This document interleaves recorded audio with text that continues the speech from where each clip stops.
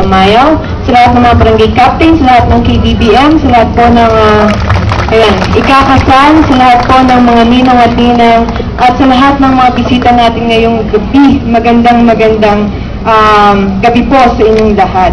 Siyempre po gusto ko yung batiin yung nagbigay sa atin ng advice ah, si ah, Reverend uh, Barcelon na kasama po natin kanina.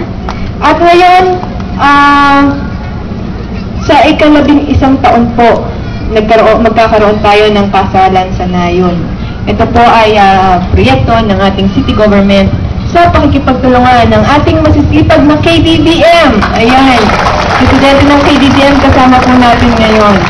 Makita po natin iba't ibang relihiyon kasama natin, iba't ibang edad kasama natin ngayon. At ito po, sabi nga sa loob na ng labing isang taon, mahigit na pong uh, uh, 10,000 ang napakasal natin dito sa proyektong ito ng kasalan sa Nayon, ang ating pong mass wedding na ginagawa po natin tuwing February 14, araw ng mga puso. Gusto po natin pag-isahin ang dalawang puso sa araw ng mga puso. Ayan. Siyempre po, hangarin ng ating ah, syudad na pagtibayin ng inyong pagsasama sa pamamagitan ng kasal, maging legal po. Alam naman natin, yung iba po ay nagsasama na, yung iba po ay, ah, siyempre ngayon pa lang hindi kakasal, yung iba po ay ah, matagal na nagsasama. Ito po, kasama ang aming panalangin ah, na sana po ah, mula ngayon habang buhay ang ating mga ikakasal ay magsasama, magmahamahalan, haharapin ang buhay. Sabi nga po, hindi madali ang ah, gagawin natin ngayong seremonya sapagkat ito ay panghabang buhay at alam natin na makakayanan yung lahat yan kung meron pong tunay na pagmamahalan, pagbibigayan at suporta sa isa't isa.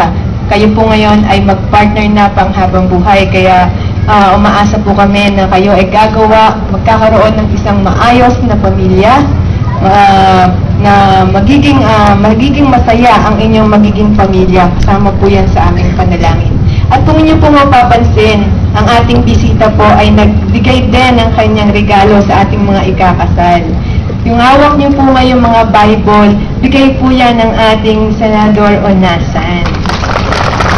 Dahil gusto niya po manguna sa inyong pagsasama ang ating Panginoon, maging sentro ng inyong pagsasama. Sabi nga sa kanya, walang imposible. Kaya syempre, pagka nasa, ang Diyos ay kasama natin sa ating pamilya,